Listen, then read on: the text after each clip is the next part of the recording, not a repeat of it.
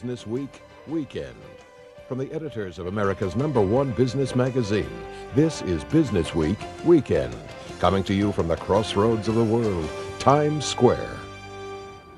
Welcome to Business Week Weekend. I'm And then later in the show, affordable luxury. Live like the other half for a fraction of the price. We'll tell you how when Business Week Weekend returns. Don't go away. Beth. And later on, affordable luxury. If you have champagne taste but a beer budget, we'll show you how to shop. All this when Business Week Weekend continues. Stay with us. Up next, if you think of Target as déclassé, think again. It's not. It, along with many other retailers, are providing customers with affordable luxury these days. We'll take you on a shopping trip when Business Week Weekend continues.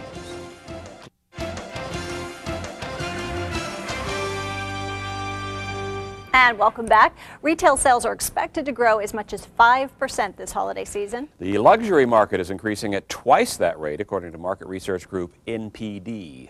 Many low and mid level outlets are hoping to share the wealth by carrying luxury items without the luxury price tag. A lot of shoppers this season are looking for style on a budget, and they should have no trouble finding it. The most interesting trend that we see is all about trickling down in affordable fashion and taking high level design and bringing it into a space or a location or an avenue where the average consumer can also enjoy that trend. So for Retail example, consultants Tina Hedges and Beth Ann Catalano say affordable luxury is hot for the holidays. One of the pioneers of the trend is Target. The company first contracted architect Michael Graves to design housewares. They then hired Isaac Mizrahi to create a low cost fashion line. It's been a huge success, and other designers are following Mizrahi's lead.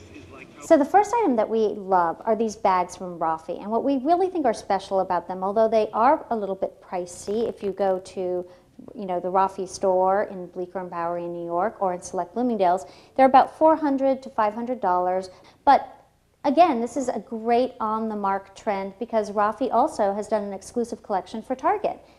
The bags run between 20 and $50 at Target if you can find one still in stock.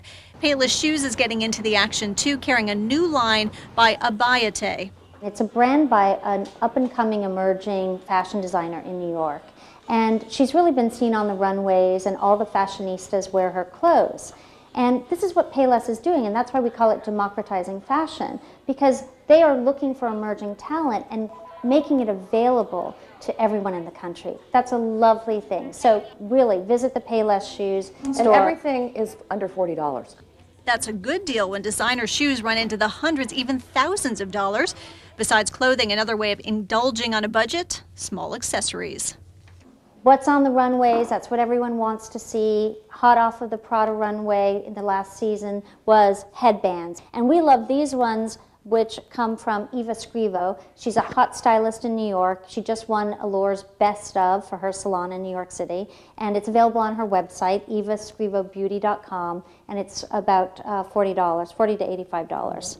That may sound like a lot for a headband, of course, but it allows you to afford something designer if that's what you're looking for. And small treats like body oil and makeup always make good stocking stuffers. At Sephora, makeup artist Lynn Lynch says the trend is glamour. So sparkle in the false eyelashes. You have everything from really super glimmery, like these right here. These are beautiful. They make you look like you have tinsel on your lashes, which I love. And if you're not into that look, you can also have a, a slightly different look here. These are lined with glitter. They run about $18 for the deluxe kit, $8 for refills, and they complete that fashion model look after you put on your own discount designer duds. And when it comes to affordable luxury, all the big chains have taken action. Walmart introduced its own high fashion label Metro 7 last year, which didn't do so well. They've had more success with a line called George by designer Mark Eisen. It's a little less cutting edge and more classic than some of the designs from Target. Now, JCPenney also has a couple designer brands, including one by Nicole Miller, and the president of the company credits these brands with helping to spark sales and update the store's image. Even Kohl's is on the fashion bandwagon with a Vera Wang collection coming out next year.